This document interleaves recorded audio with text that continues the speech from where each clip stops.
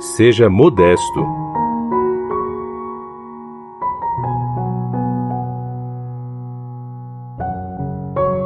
Enfrentando problemas relacionados à idade ou não, a maioria das pessoas deseja envelhecer com dignidade. Como isso é possível? Vamos considerar alguns princípios bíblicos simples e práticos que podem ser de ajuda. Seja modesto. A sabedoria está com os modestos. Provérbios 11, 2. A pessoa modesta reconhece suas limitações. Por ser modesta, ela não espera de si mesma mais do que consegue fazer. Como resultado, ela continua feliz e produtiva. Podemos comparar a pessoa modesta com alguém dirigindo um carro numa subida.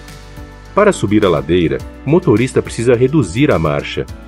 É verdade que ele talvez tenha que diminuir a velocidade, mas ele vai continuar seguindo em frente. Da mesma forma, a pessoa modesta reconhece quando é hora de reduzir a marcha para continuar ativa e produtiva no serviço de Jeová. Pense no exemplo de Barzilai. Quando tinha 80 anos, ele foi convidado pelo rei Davi para fazer parte da corte real. Por ser modesto, Barzilai não aceitou o convite do rei. Ele reconheceu que, por causa de sua idade, ele tinha algumas limitações. Então Barzilai sugeriu que um homem mais jovem, Kiman, fosse no lugar dele. Assim como Barzilai, homens mais velhos ficam felizes de dar a homens mais novos a oportunidade de cuidar de alguns trabalhos. Os que hoje são idosos continuam ativos, mesmo que sua designação tenha mudado.